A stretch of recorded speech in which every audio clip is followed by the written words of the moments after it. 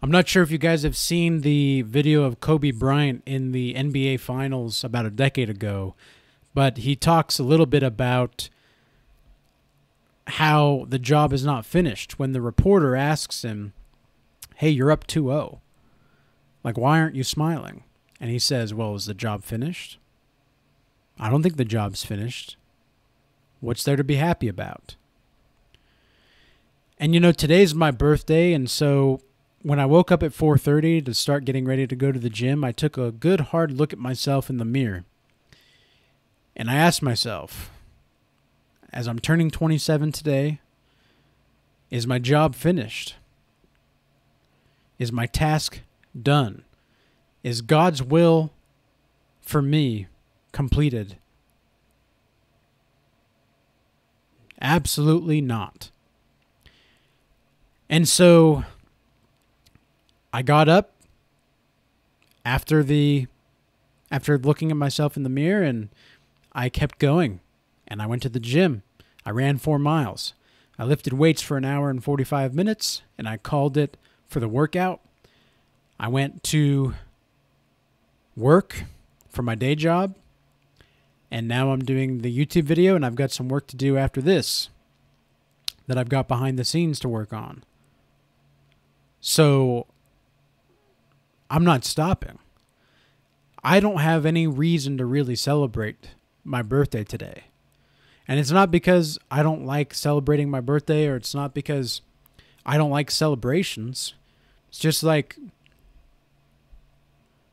I don't see as many people being empowered to prosper as I'd like. And I see a lot of deceivers and a lot of liars and I see a lot of inconsiderate takers that are just eating the life force off of the chosen. So, no, I don't have anything to celebrate. Not today. Will I condemn celebrations? Absolutely not. But I will say this beware of people that celebrate too early, and beware of people that celebrate too often. What's there to celebrate when you still have a job to do?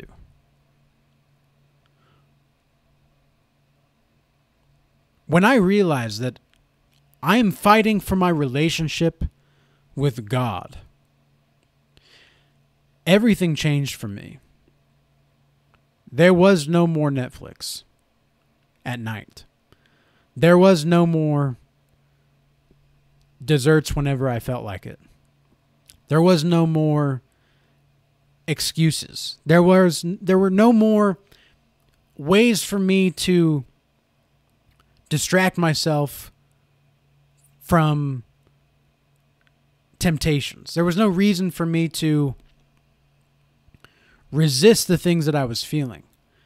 There was no way for me to not confront what I absolutely needed to confront.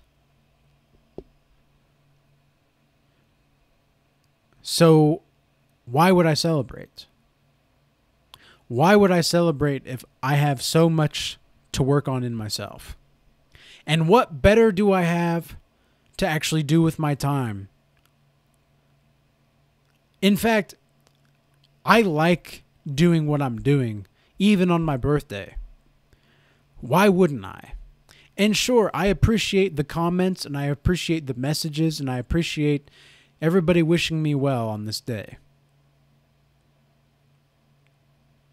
But to be honest, that's just not enough for me right now.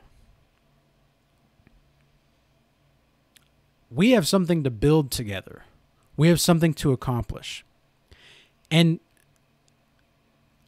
I don't have the results that I actually want just yet. Am I on the path? 100%. Am I on my purpose? 100%. Absolutely and totally. No doubt about it. But the results are not where I want to be just yet. So why would I stop and put my life on hold for a celebratory act just for the sake of celebrating something. This is something I think way too many people do too much. They just celebrate to celebrate. Oh, it's Friday. Let's celebrate.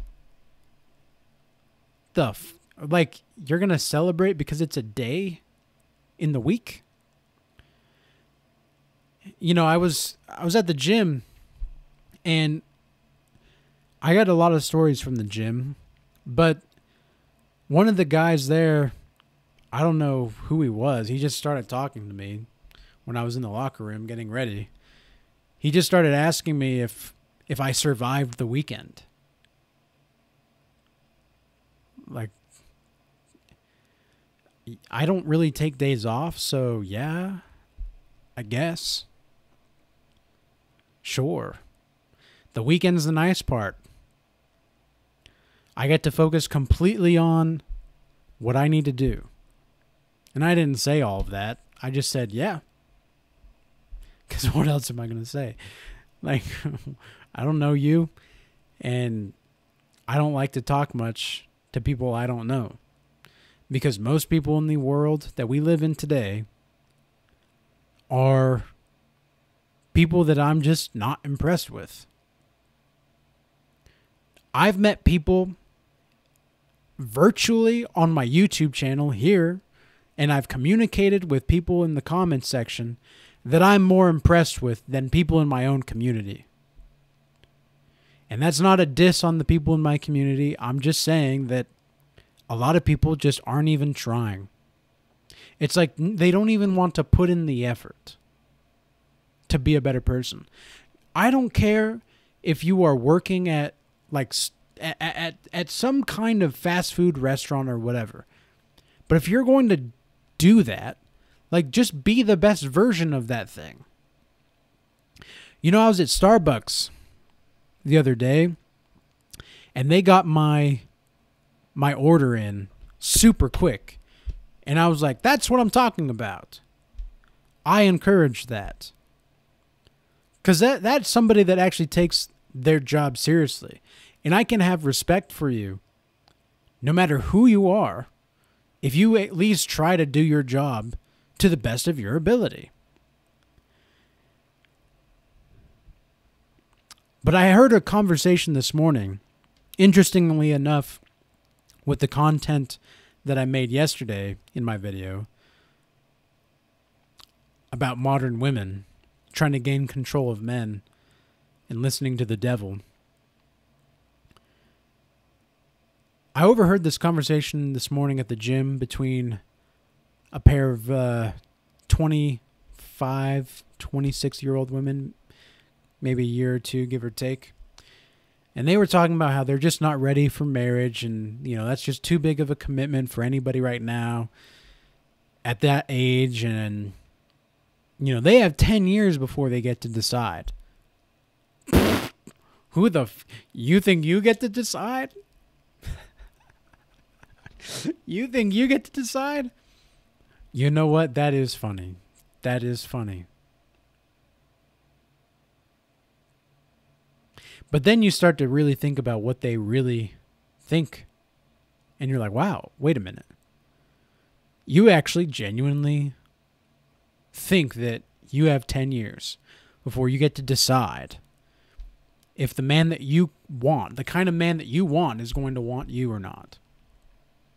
You think the man is just going to stick around and be ready to take you back whenever you feel like it. Whenever you're ready. Whenever you're ready, sweetheart. no.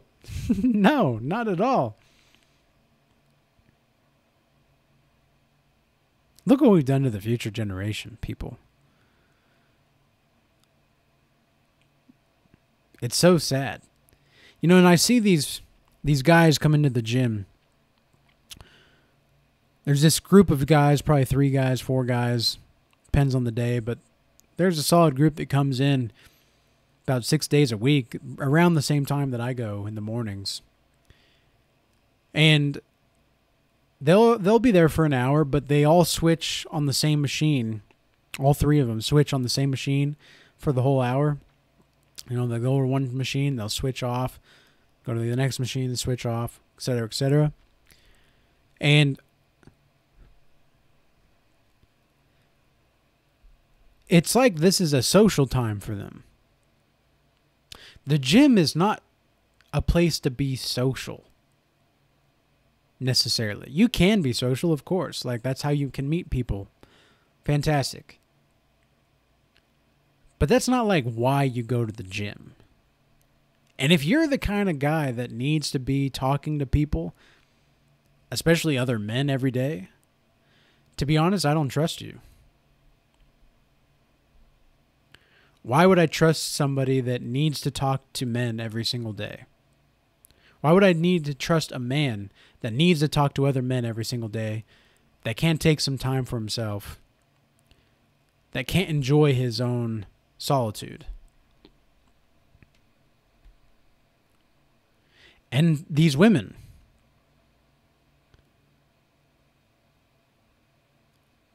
They they think they genuinely think they're just brainwashed, man. Like they're just brainwashed. Society's brainwashed them to think that they're most valuable when they're not most valuable. Now is the time when they're most valuable.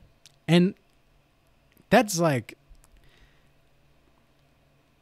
and that's if they keep themselves fit and healthy and friendly and cooperative. Which it didn't sound like one of these ladies is very cooperative. In fact, she sounded very disagreeable. It's like, who would want you in 10 years when you're even more disagreeable than you are now? 35 year old woman that is highly disagreeable? No thanks.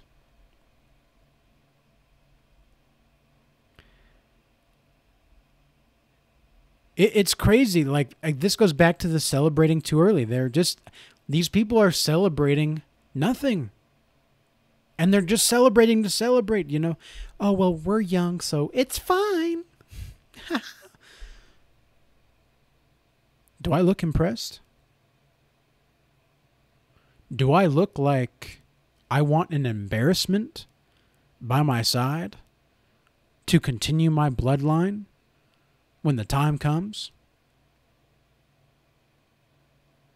Do I look like somebody that is going to be laughing at the degeneracy that you've bestowed upon our society? No. And if I have to sacrifice my life to restore some kind of order to the modern world, that we live in, the modern fucked up world that we live in. Excuse my French. I'm feeling very passionate at this moment.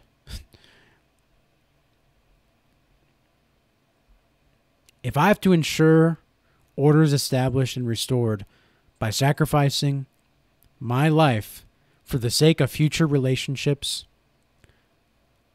I will gladly take that sacrifice because I know in Jesus' name, I will be with my Father in heaven.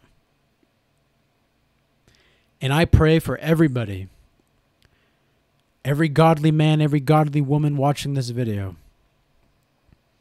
every man and woman with a sense of integrity and morals. I pray for you to keep due diligence I pray for your ability to gain insight and wisdom. And I pray for you to see the glory of the Most High. And with that being said, peace be with you. Till next time.